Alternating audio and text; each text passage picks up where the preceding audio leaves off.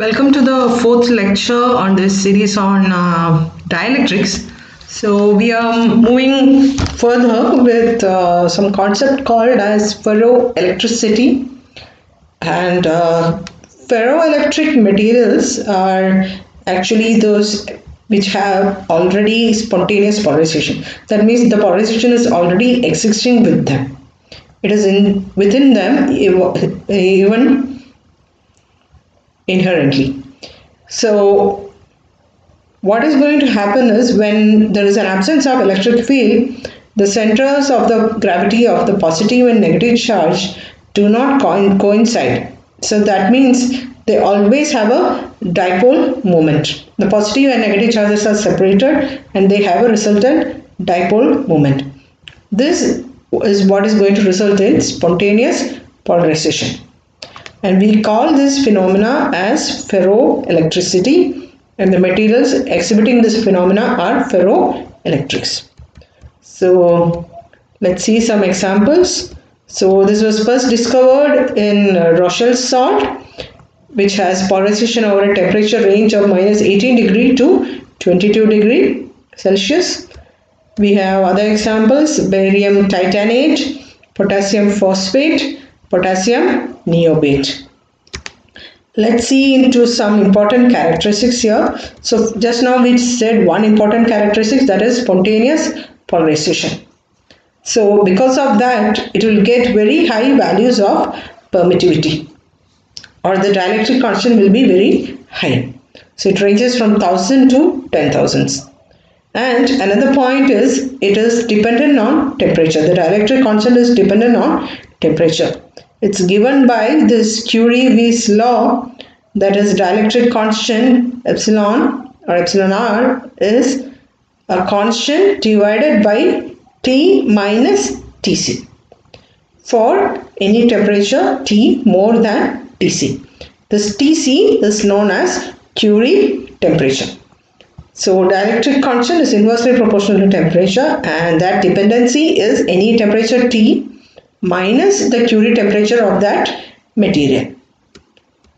And the constant over here is called as Curie constant. And we just talked that it also has spontaneous polarization and it occurs within a definite temperature range like uh, we talked about the Rochelle salt example. And you can see that polarization occurs only up to the Curie temperature.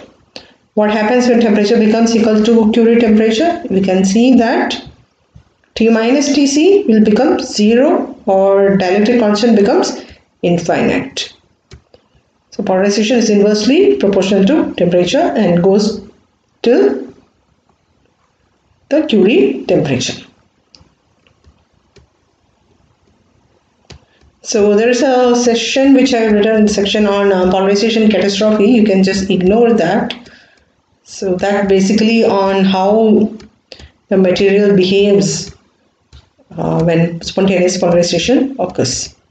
But what is important next is the hysteresis characteristics of the ferroelectric materials.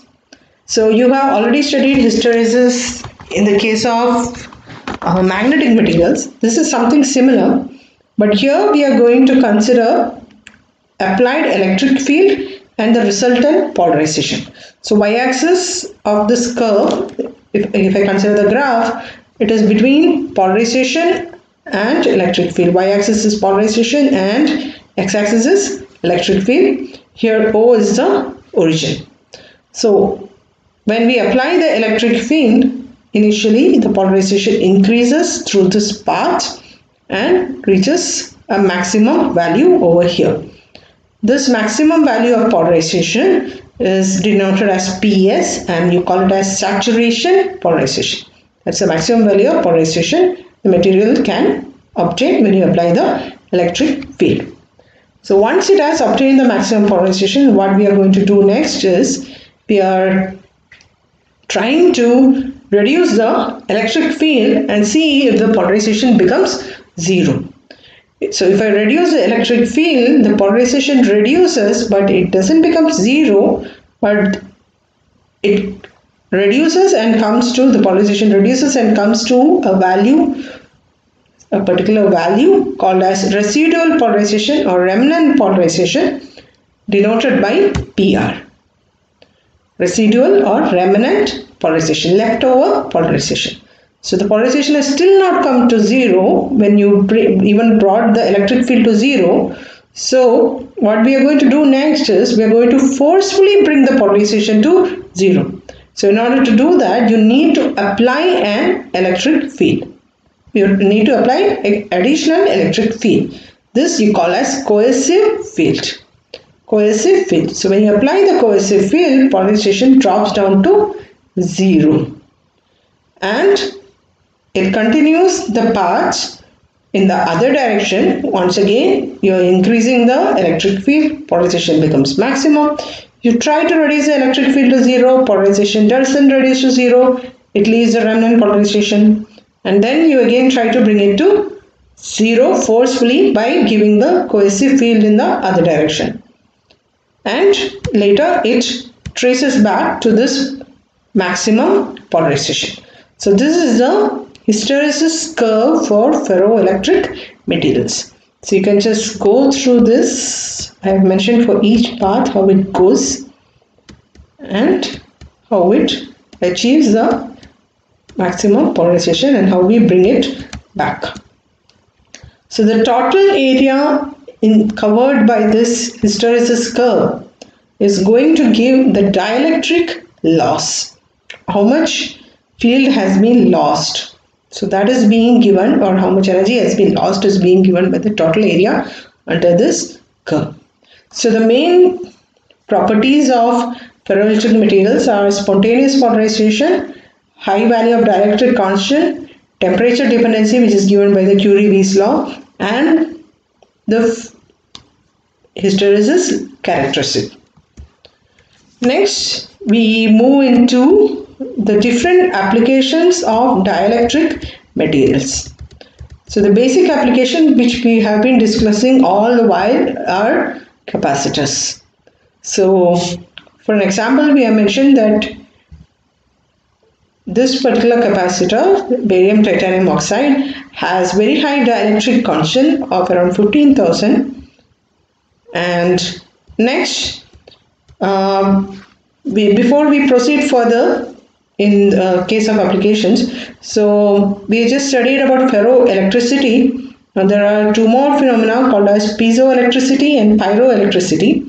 So piezoelectricity is when polarization occurs due to mechanical changes and pyroelectricity is due to change in heat or increase in heat or change in temperature. Whenever you heat up the material, if polarization occurs, then you call it as pyroelectricity, P-Y-R-O. So next we are going to see some applications based on piezoelectricity. So first is generation of ultrasonic waves. But if we use piezoelectric materials, piezoelectric crystals, it can give rise to ultrasonic waves. Next we have vibrators where you apply an AC voltage, a particular voltage or piezoelectric material, it will vibrate and resonate at that particular frequency. So this is one simple example which you have been, uh, which everybody uses on a daily basis. That's a speaker or headphone. It has almost become like part of our life. So next we have piezoelectric ceramics used for detection of sound in water. Now coming to pyroelectric detectors. So these are a few examples of heat sensors. So we just said that pyroelectric is when there's a change of heat and polarization occurs. So basically this is used for uh, producing uh, or making use for uh, thin film uh, development or thin film uh, detection sensors, thin film sensors. So you have a few examples here. crystals of triglycine sulfate and then PZT, lead, zinc and titanium.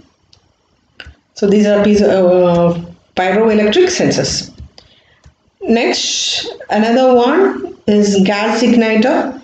So for gas igniter, these are the uh, which this is something which we already know. We either use it at kitchen or somebody uses for smoking. So what happens is there is a piezoelectric material, and when you give a mechanical stress, then there is a high voltage being generated or polarization occurs, and it produces spark. So this is example for piezoelectric or piezoelectricity. Further examples for piezoelectricity are accelerometers, transformers, dot matrix printer head. Now let's see one important application of ferroelectricity or ferroelectric materials. So that's ferroelectric memories or also called as ferroelectric RAMs, FRAMs.